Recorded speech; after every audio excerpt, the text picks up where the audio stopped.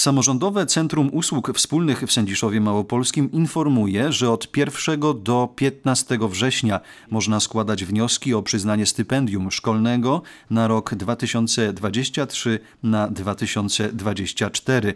Stypendium szkolne to świadczenie dla uczących się dzieci i młodzieży stanowiące formę pomocy materialnej dla rodzin znajdujących się w trudnej sytuacji finansowej i życiowej. Udzielenie tych świadczeń ma na celu wyrównywanie szans edukacyjnych uczniów. Środki mogą być przeznaczone na dofinansowanie e, podstawowych takich potrzeb edukacyjnych ucznia, na przykład na zeszyty, na tornister, e, na bloki, kredki, ale także na dodatkowe jakieś zajęcia e, pozalekcyjne, typu jakieś wycieczki. Ważne jest, żeby też dokumentować te zakupy i jak to robić.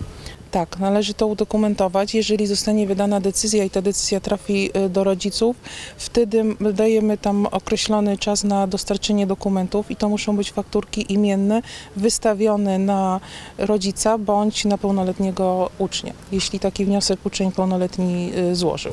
No i należy pamiętać nie, fak- Tak. nie paragon, tylko fakturę. Nie paragon. To muszą być imienne faktury wystawione na rodzica bądź pełnoletniego ucznia. Wnioski o przyznanie stypendium szkolnego można odebrać w szkołach lub pobrać ze strony internetowej Urzędu Miejskiego. Należy je złożyć w Samorządowym Centrum Usług Wspólnych w Sędziszowie Małopolskim przy ulicy księdza Stanisława Maciąga 5. Wniosek musi być y, kompletny, uzupełniony wraz z zaświadczeniami.